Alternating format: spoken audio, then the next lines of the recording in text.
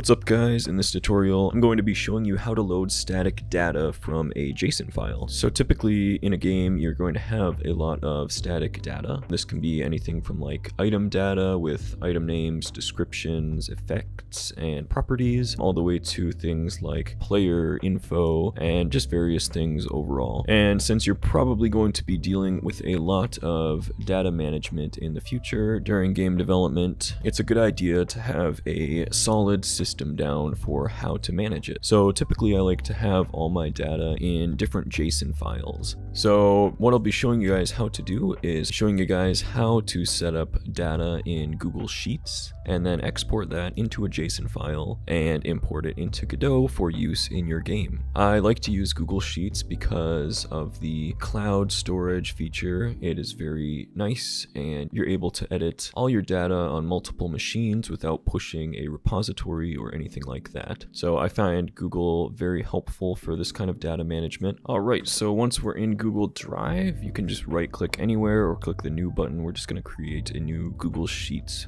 file. And I'm just gonna call this item data. So the first thing we need to do to get everything set up properly is select the first row and we're going to right click view more row actions and freeze up to row 1. Next up I'm just going to select everything and center the alignment just so it's easier to read and I'm also going to change the color of this top row because I want to and how the formatting is going to work is you want to set all your item keys in the top frozen row and then all your values will be underneath that. I'm just going to create a quick example here. In the first column in the frozen row we're going to type a new key called item name.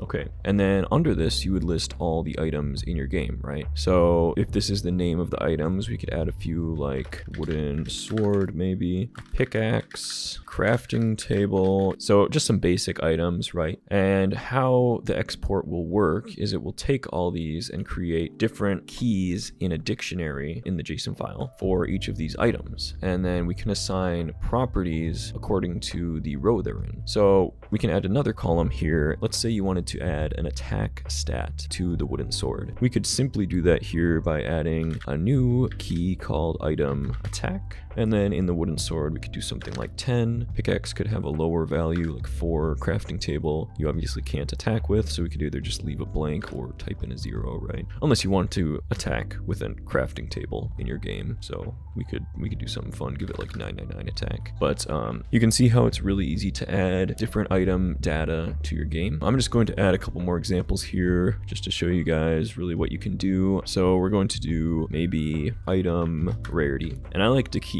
all the names at the top very specifically formatted because these are going to be the keys that you access the data with. So you want the naming convention to be really consistent. Now in here, we could just do like something, I don't know, the wooden sword could have a rarity of one, crafting table could be zero, pickaxe could be like a two. You know, it's it's really easy to input uh, a lot of data and you can see how helpful Google Sheets is with this process. It just makes the entire item management and just static data management for game development extremely easy with the amount of organization it provides. So once you're satisfied with all your data, we actually have to get an extension. I already have it installed here, but but if you don't have it, just go to the add-ons tab, click get add-ons, and then you're going to search for export sheet data and it's going to be this one right here. So click on that click install. It'll give you a couple pop-ups. So just go ahead click through those get it installed and then once it's installed you go to the extensions tab again and go down to the export sheet data menu. And we're going to click on open sidebar which will pop up this menu on the right hand side. You can see there are going to be a lot of options. For the format we want to make sure it's in JSON format. We're going to say default all sheets. So for general, just ignore all these keep them unchecked. Advanced, we don't need to touch any of the options, but it is kind of helpful to just know the power of this program. You can see that we have some commands that we can place in front of names in columns. For example, if we type no x, which stands for no export, in front of our column name, then it will not export that column. So this is really helpful if you wanted to do something like type no x underscore dev notes, and then you can put any notes you have on the items in this column, and it would not export them to the final data file. So we're just going to ignore these, um, close advanced, JSON. If you want, you can force string values. This is kind of helpful, but you have to remember to be wary of what types of values you're working with. I have to convert stuff to strings a lot, but if I forced strings, I'd assume I'd convert a lot of these values here to integers. So just be wary of that. Um, we don't really have to worry much about this. You can also see there is another option here that's actually pretty helpful and this is the array separator character. So in this case it is a comma but this will basically notify the exporter when to make an array out of a cell. So if you wanted to have maybe like a treasure chest item or a drops table. You could use an array in a cell to instance which items and rates it could drop. So maybe you'd have a treasure chest item, doesn't have any attack, it's a rarity like 5 or something, and then here we could have the drops. In here you would put something like, maybe it could drop a pickaxe, and it could also drop a crafting table and you would just instance the um, items it could drop or something similar. This is obviously a very inefficient way of doing it because all these items are subject to change, which is pretty common in development. You'd want to change the name of an item. And I did want to mention that if you're going to actually create a table like this for all your items and you start having a lot of different items you're working with, you make sure that the items have the same ID throughout all of the editing. So typically you'd want to add a new column to the left of this, and this would be called the item ID and this would be how you access the data. And then I typically like to keep everything also formatted consistently in these cells. So for a wooden sword, we would do like wooden sword, pickaxe would be pickaxe, crafting table, treasure chest. And the only reason you would have a system like this is because you would then be able to instance the item IDs instead of the item names in something like this drop table. Now, this is obviously good practice to do because let's say I named this wooden sword to a wood sword, which I probably would not do, but then I would have to go ahead and change all the times wooden sword appeared and it would be a mess and I'd run into a lot of bugs. So if I just instance this wooden sword name instead of the display name, then I could change the display name as much as I want and everything would still work properly. So I did want to put that in there. I kind of forgot about that, but just make sure you have all your item IDs that you're using for any instancing and then this would be like the display name and then all the other data of course we're going to delete this column for now and then we're going to go ahead and click visualize quick just to see how the exporter compiled everything and you can see that the exporter neatly compiled everything into a JSON file. Now you can export from here if you want, but I also wanted to mention that you'll have to access the key sheet one whenever you get anything. And we're actually going to close this and re-export because that would get really annoying in development. So in format, we're going to select current sheet only and then visualize again and you can see it removed the sheet 1 key and we just have all of our data right off of the root of the file. So this looks correct. We're going to go ahead and export this. We'll compile it and then we can go ahead and download this file. So I have the file right here. I'm going to throw this into my project file in Godot and I'm going to make a new folder in here called static data and paste the file right in here as item data.json. And that's all we're going to need to do in Google. So we can go ahead and close out of this.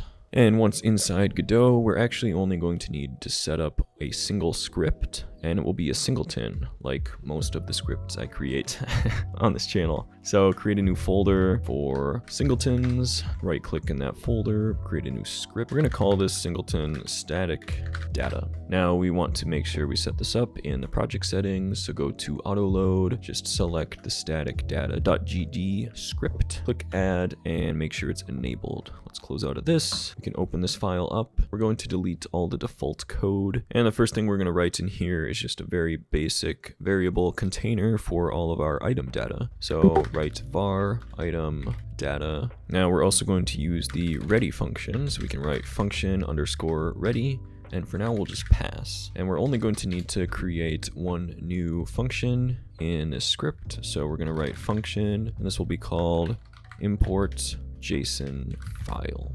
And we're going to require a path, and it will be of the type string. Now, inside of this function, first off, we create a variable for the data file and this will create a new file class and then we can use that new variable dot open and open a file on our path and for the second argument we're going to pass in file dot read. And then next up we'll make a new variable for the json data. Data underscore json equals capital json dot parse. And we're going to do data file dot get as text. And then we have to remember to close the data file. So write data file dot close. And last thing we need to do is get our result from this process and return it so that we can store it to this item data variable. So write var data output equals data JSON dot results. And then lastly,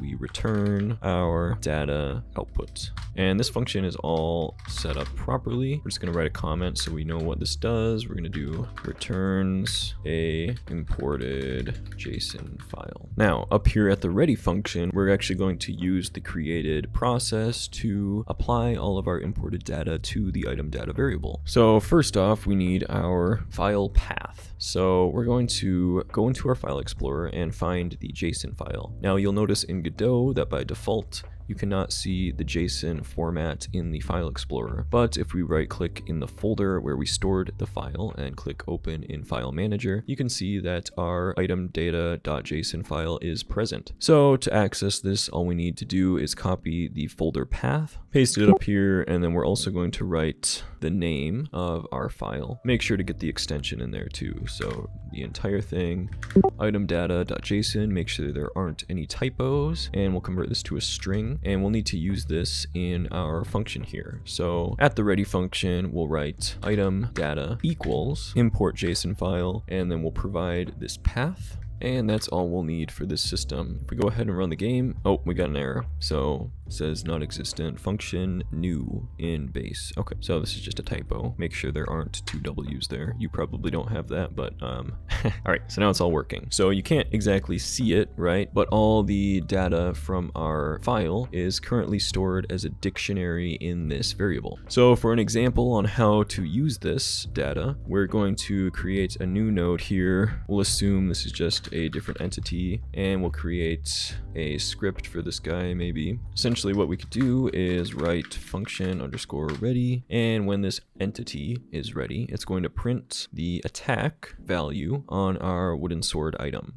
So how you would access that is we write print, and then we get the singleton, which is called static data. And then we write dot, then we get the item data variable. And then inside of this, we use the square brackets with a string and we get our wooden sword item ID. So we're gonna copy this to make sure there aren't any typos. Paste that here, we'll get our wooden sword. And then from that, we'll also get the item attack. So more square brackets and get item underscore attack and make sure there aren't any typos in that either. This will access the third column here and it will print that. So let's see if it works and the game started, this was initiated, and you can see it printed the value 10, which is in fact the attack on our wooden sword. So you can access all sorts of different values this way. Um, it's extremely easy to do this, obviously. You just get the item and then whatever data you are trying to access, obviously, and it's as easy as that. So with that though, thanks for watching the video. If you learned anything new, don't forget to hit the like button and consider subscribing. And if you have any questions on this system or have any ways to optimize this system, uh, please let me know in the comments and I'll be happy to check those out. Anyway, that's it for this tutorial and I'll see you in the next one. Bye.